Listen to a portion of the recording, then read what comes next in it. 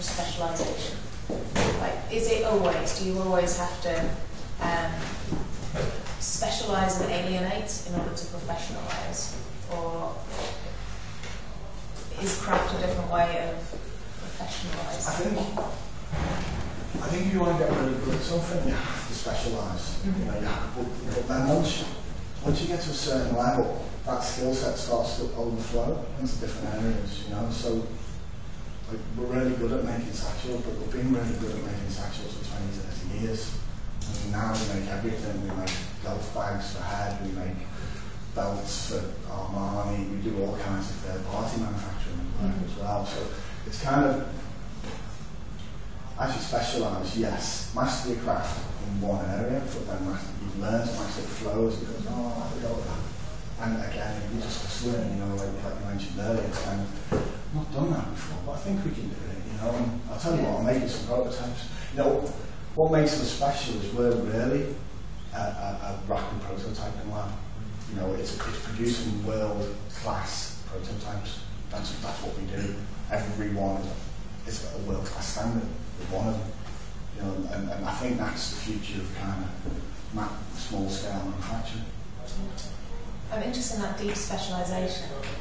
Um, I too am doing a PhD and that kind of deep specialisation I say I'm doing. I kind of put it on hold for three years, which is a stupid idea. Don't do that. Don't do that now. I do that. Don't do that. No, I've got a great, I've got a great job. You know, it's fine. Um, but within that deep specialisation, there's a kind of I'm wondering how that deep specialisation of your PhD and of that kind of research-based approach is informing your designing now. And I know it's not necessarily separate, but it's different.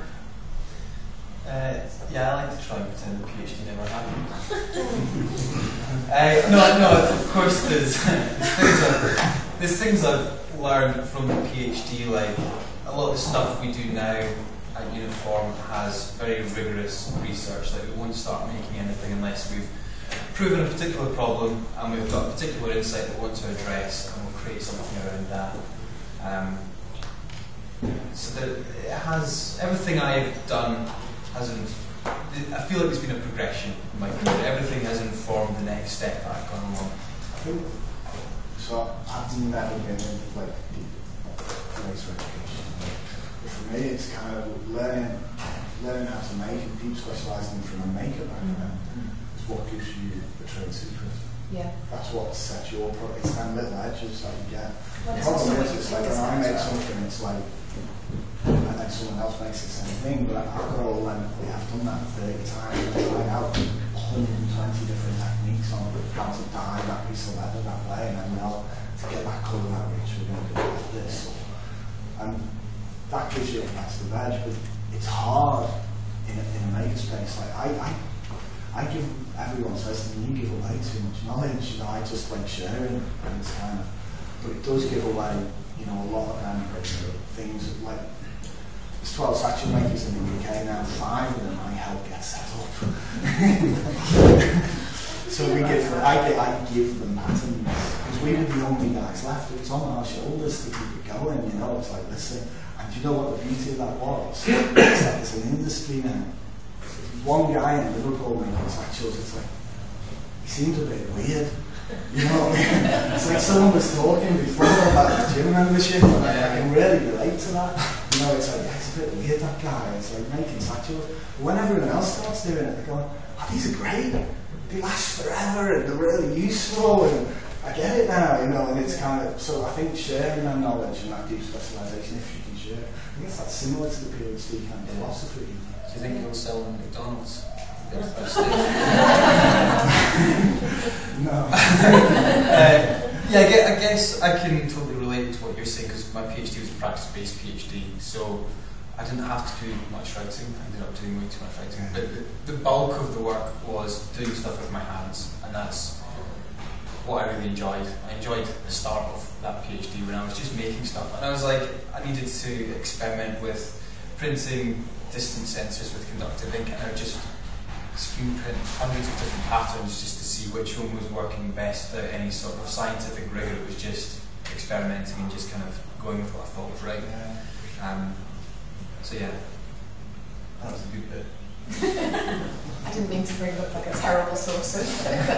um, I was quite interested in what you were saying about being a single-handed crafts person, because I think that kind of that knowledge that you carry in your hands as a crafts person is really important, mm-hmm. and isn't is communicable, but only in very specific. It's not really scalably commodifiable in quite the same ways. And it's, it's hard. I mean, so I have. So I was speaking to a lady earlier. You know, one of the challenges we have is that there's lots of people who want to learn my craft but there's not many people. So 16 year olds come to cook up. We work with like uh, Studio Bays out in Tree Technology Park. So we get lots of kids coming from there going, yeah, I'd love to come and work for you kids, do an apprenticeship. It's like, what do we get at the end of it? And I'm like, nothing. There's no qualification in leather work in the UK at the moment. so it's like, oh right, okay, well I can't do that. I said, I can give you warehousing a little bit, or maybe some office admin NVQ, but it's not what you're actually doing. So that's the challenge, you know. Yeah. I mean, we have, so it's like trying to, we've got our own apprentice scheme, and communicating that is something I've developed over the last 20 years of teaching people. I'm now trying to look at how can I digitize this and, and me and teach them and do this kind of course where it's like, I've got three people who are apprentices now, they're all 30 we've all got PhDs and they're going, yeah, I, don't care about paperwork, I just want to work with you, you know, and that's like, it's, it's humbling, it's really humbling because they see that, you know, they get to work, the product's beautiful to work and it's lovely to make. And this comes from when you, when you make a product from start to finish, you take a raw material, and you make something, you make someone's life better because of it, you know, it's, and I feel you good, you know, you produce sustainable products. So, I'm I'm rambling, this is why I keep notes. but yeah, how, how do we scale it? I, th- I, think the only way you can scale it is, is sharing the knowledge, but, but you still always need a master leader, and you always need someone who's, who's done the groundwork or trained with someone, you know. Is it, a, mind, is it a mindset issue? Do you have to get people with the right mindset to be able to keep it? Yeah, you, you, you do, yeah, yeah. So, so there's, there's big issues. First of all, parents don't want the kids in production factory. Yeah, we're not really a factory, but a lot of people come here. Not being a factory, it's not a factory. I've seen factories. Our place isn't a factory, and it upsets me when you call it a factory. It's a workshop. We have benches, you know what I mean? There's no line. There's benches with tools on, you know. So anyhow. um, but yeah, you've got a problem, and then there's mindset as well. So the, there is times when it is quite monotonous, but like stitching the bag. I mean, do a stitch, it can take you if you were to hand stitch, start with a saddle stitch, it would take you probably about 45 minutes to an hour. The, whole bag would probably take the best part of two days if you were to, hand stitch it. Yeah, three stitch these on the machine. So it's machine stitched, but it, it's done by hand. Um, but most people can't endure that. You know, most people just won't. Be like, I'm bored now. So you've got this whole culture problem of you know, it's like, where do we get that from, you know? Yeah, so, and, and then you'll find the older people are like, yeah, I, I love it. Yeah, it's just so satisfying and rewarding to do it, you know, so it's, it's different. But that sort of way of working must really tie into what's been talked about a lot already today, that storytelling, that idea of telling a story of this is what the product is, this is who's made it, and that kind of authenticity. Where when you start to scale up that story, although you can still keep a story, I'm sure. Well, I, I, have, I have two people in our team that purely work on digital. So I, we don't have a marketing budget, I have two digital people. So they come in, they take photography, they, they put together kind of stories and campaigns and stuff like that, and they're in there and they can take videos and we'll post them online, or we'll take pictures of customers' bags as they're being made and we'll post them to customers. And, there's lots that goes on that people don't see behind the scenes. And trying to make that whole process a lot more transparent. So using text, so as a bag's being cut, we're going to put an NFC chip in it.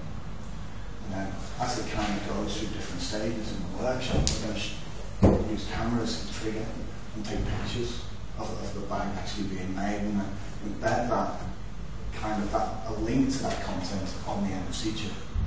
When you get your bag, you scan it with your phone and you can watch it being made. You got know? Yeah, and then you'll know who made it and where all to like this leather's this leather's from Fly Tannery in Scotland, that buckle there, that's from Lutsford, that's from Abbey Saddlery. that little clip there from F. Martin in Yorkshire, you know, so it's like I can, I can tell so much kind of story about where comes from. But tech enables us to do that, you know, it's not, and, you know, there's changes happening, but That's going have to evolve with that. Because someone said earlier, it's all about the story time. Everything is about story. We've got three questions. Let's start here, then there. I was just slightly interested in you said about active adaptive psychological skills. Does that um, sort of move through into the actual physical making, or are you seeing that as something that... Um, yeah, it does. So we're finding Like we use laser cutters for some things because some things you just can't cut with a craft knife, not to the standard you need, not as a one-off. And in the past you'd make tooling, you'd get like a die knife and stuff to do the intricate work, but it's just too costly when you're making one of them. So it's, it's kind of lasers help us do a lot more things with it. We also do, um, so we also use uh, UV printers to do digital timing on some items as well, so people can send us a photo and we can digitally tell if hacked a, uh, an, old um, flatbed uh, sign printer mixed it with leather pigments and crisp packet polymers, so it can print directly onto leather. You know, so people can send us a photo and then we, we, we whatever you want or artwork from a, an art degree and then we can make a product out of it. There's things we do, yeah, so it is really changing the landscape of what we I can look at do. really technical analysis afterwards. Got a question there. Um, was a very famous case uh, four or five years ago of Tatty Devine, who do laser cut jewelry, um, and who found that their design had been copied, I think, by H&M at the time, and it became this big public conversation about ownership. Um, do you see, because you're talking about this dynamic between someone in China copying what you're doing, do you see that your um, power of digital tools is what enables you perhaps to fight against that theft? Completely, yeah, yeah. So that, the agility, the ability to make a one-off product, product at global standard is because of them tools, because we've mastered them tools, because we're quick. We can, you know, my craftsman wouldn't be able to pick up a, a CAD program in the past and draw something really quickly. They wouldn't be able to focus a laser depending on the thickness of the leather and, you know, this surface and all. It just wouldn't happen, you know, and, and that's what gives us that advantage. And the digital tools give us that advantage to create really high-end products that are just, just one of them. But I'm, th- I'm thinking also the digital presence that you have as a business. So the more you're known publicly on social media, et Yeah. cetera, the more you develop It, gives, it gives us direct access. So, so, uh, in the past, 10 years ago, we were purely business to business. So we used to deal with schools, school out feathers, university bookshops, I you, you can imagine, yeah. Now we, we deal with, mo- we've still got them clients, but they're very small. Most of our consumers, ah. most of our profit comes from relationships directly with our consumers uh, and then conversations. But the path is really long. the path for them coming in and actually making a purchase is about a month. You know, which is like, it's a conversation had. You know, and then the sketch is drawn and it's gone back and there's, there's kind of all kinds of issues we have that we're also trying to use tech to solve as well. But it's a bigger journey and the cost of that and really important to do. I'm just gonna. I have a question for Michael. Or Mike, sorry. It sounds like there's an element of guilt of piggybacking on industrial systems if you want to scale. That that's not necessarily authentic to the maker aesthetic or the maker values that you're doing in the things that Uniform is making. Yeah. Why? Why, why do we have that guilt? Because that's all kind of shared collective human knowledge built into communities and systems that work. That's why you're a master crafts person, so you can build on that knowledge of years of tradition. Right? I so so why do I feel guilty about Yeah, and I don't think it's just you. I think mass it's, production Yeah, it's why do we feel guilty? about do we? That's, It's not just yeah. I I think it comes down to what you're talking about. When I make stuff, I like to be in control of making stuff. Um, a lot of the projects I've worked on recently, I've had to outsource lots of different elements of it. Feels like it's out of my control. Um, it feels like quality might start to get lost here. And I've, I've had projects where you're splitting it to four different manufacturers across the UK or even the world. So somebody might be developing some sort of digital element, somebody's doing circuit board, somebody's doing some sort of injection molding somewhere else, and I don't know. I feel like I'm not that comfortable doing it yet. Yeah. Um, maybe that's what it is. Maybe I just I feel like I'm learning a lot. Since we're at uniform, this is something we're trying to do, and maybe not necessarily equipped to do it quite yet. Yeah. We're going to have to do a lot of learning before it becomes something that feels natural and normal. Because there's an element of mastery to that as well. Absolutely. Yeah. It's um, and I don't know if I'm necessarily the person to do that because I like to make stuff. I don't want to be the project manager style person that needs to have a deep understanding of making as well. But want to do that. Yeah. I guess it comes down to the sort of conflicts you're having. I don't want to be the person that's organising everybody else. Yeah, and that makes sense. I think, I think it also comes into that, that me not trying to challenge as this single craftsman. It's like we all want to be them. They don't exist. But they don't exist. And it's like, uh, I'm cheating because I'm not that guy in a little shed making things on his own. I've got machines. you know. Yeah. And I, I think, you know, you feel like you're a fraud or not, but you're not. You've just got to challenge that me. Yeah, you're just not me making of the craftsman is Yeah. someone else now. It's the mentality. The materials are changing. Yeah. Like Yeah. when I was doing my PhD, the materials were technology. It was conductive ink. It was whatever. Yeah. Yeah. Yeah. You had a question here, then over there, then there, then there. Who's next? Then Dominic. Okay. okay. Okay. Hey. Yes. Don't worry. Okay. Um, so it sounds like the problem is, as you all know, is that people don't value, you know, made stuff as much. They just see a product and they go, well, that's that price, that's that price. So how can you make something more sustainable? If you're going to have a bag that lasts 20 years, is there a way to pay for another 20 years, or you go back and you get it fixed, or it's like a so you would, you know, people buy a piece of art for huge value because they see it in a totally different way. So how can you shift that to be seen in a totally different way? So for instance, just very quickly, architects are now talking about instead of just being paid a design fee, the building is like a royalty. So if that performs, they get royalty of the value of that building, which is a totally different way of seeing themselves because they're getting pushed out of construction. So is there a way that you, we could change that value? I've looked at, you know, subscription models for bags. I've seriously looked at that because the PayPal enables that really, really easy and stuff like that. But it becomes really hard because people, their expectations of the product different to what the actual product is. And then you've got that whole challenge which, when you're made in Britain, then margins are not there. You know, it's, it's kind of, you, you're tight, you're running a business and it's really, really hard and you can't take risks like. It'd be nice to try, but we just can't do it, you know. So we keep our prices as low as we can to capture as much of the market as we can. You know, I look at us, you know, I always call products like 1%, 5%, 20% products. So 1% you're earning us, 5% you do with the top, 20% you let us actually company. You know? So it's that kind of price point where you are, the, the, the, the people who can afford them. And we always try and become, we class ourselves as affordable luxury. Not really a luxury product, we're a utility product, but people think we're luxury because they're made, well, you know, they're made to last. But I, I don't know how you, you challenge that, how you step that up, whether you can spread that out, I, I don't know.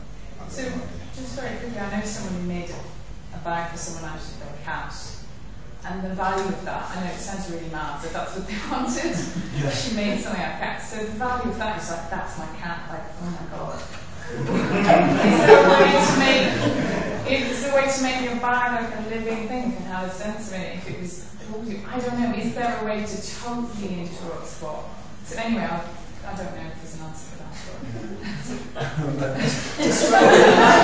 Description models with pet-based practices. like a pet is what I'm saying. That bag is like a pet, so you've just the thing. I, th I, think, I think in the future when leather becomes more scarce, so as, as we move away from kind of bovine production, like leather cowhide right now, masses of it, there's loads of it, because we tons of beef. That's got to stop. We can't sustain that. So as we move away and we move to meat alternatives, that bovine leather is going to become a lot more expensive. And then the role the people making with that leather is then a lot more crucial. because you're investing in a, in a product that has a lot of value. So I think that will change things as well.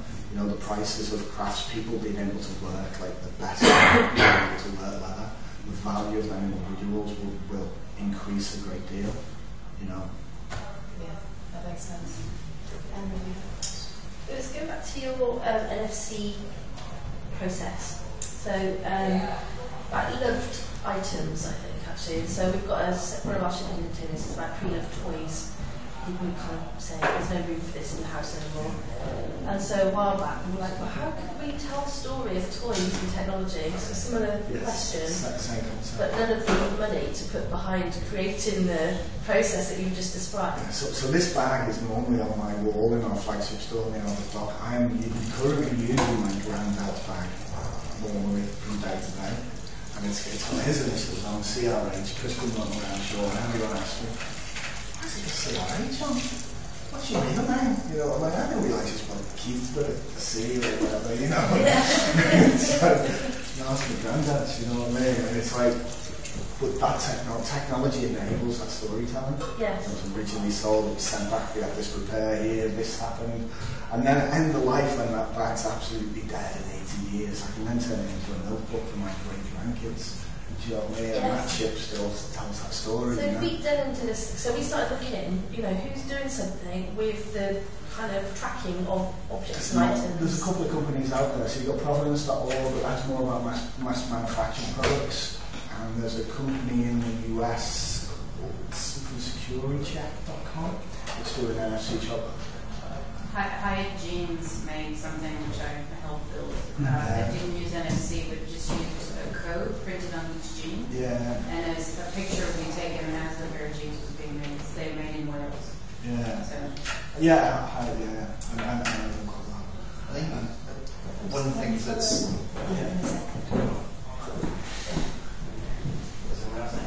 Oh, yeah, I just have. Uh, the thing, thing is, is you, you, you're much more aware about these products than, than someone who's buying them. So someone like me is not able to tell the difference between something that's actually well built and you're paying for quality versus something knocked off in China quite so well. That's often why we want to buy the cheapest possible because we can't tell the difference between ripped off or paying for quality and not getting it. So most of what the thing of showing us the manufacturer is showing that the money that we're putting in is actually going into the product rather than going into the sales lens cut, postage, and so forth. And that's the point I, I get is that you don't quite understand how little we know about products. Yeah, yeah. Can't But, I in think, I think, I think to- again that Yeah. NFC solves that problem. It's like you, Yeah. you don't know it's not a counterfeit. Or, or even just a photo of the factory floor on the website. That most most suppliers don't do this, so we don't know they've got a sewing machine there. And we can't tell the difference between them and people who just import off from China from some factories. We don't know that. Yeah. Yeah, so we're culturally, materially illiterate.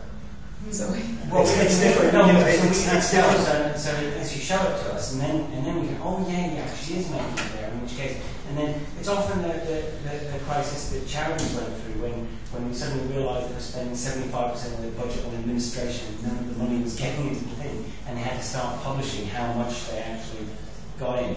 And it's sort of like I like to know how much of my money is actually getting into the actual product versus going into various sales. Uh, Yeah, I, th- I, think that transparency can come as well. You know, I think. I think the thing is as well is that when you round it every day, that we take it for granted. You know, people come in our workshop and they're just like, "What's up?" yeah.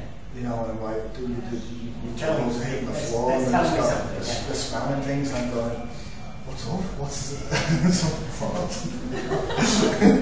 and how the leather, because we're nose blind to it as well, so we don't, we don't smell the leather anymore, unfortunately. Occasionally we get leather in from a tannery that we've not had in for a while, or it'll be from a new tannery, and we're like, oh, there's that smell.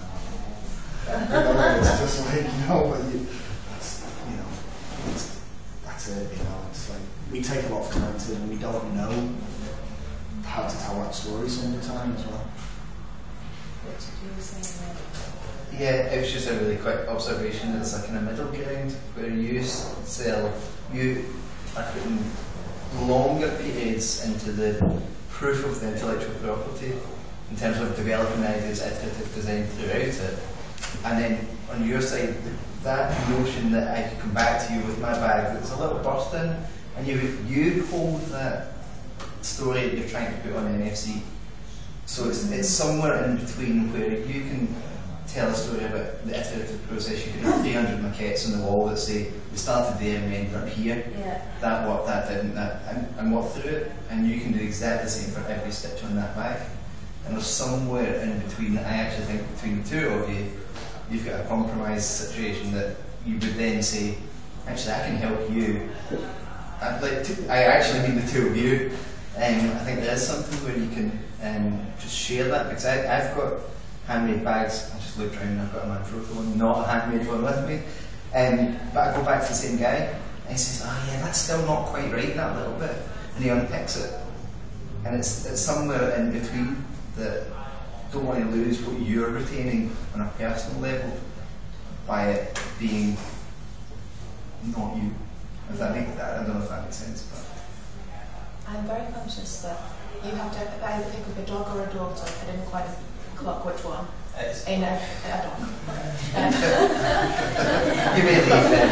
so, so you may leave.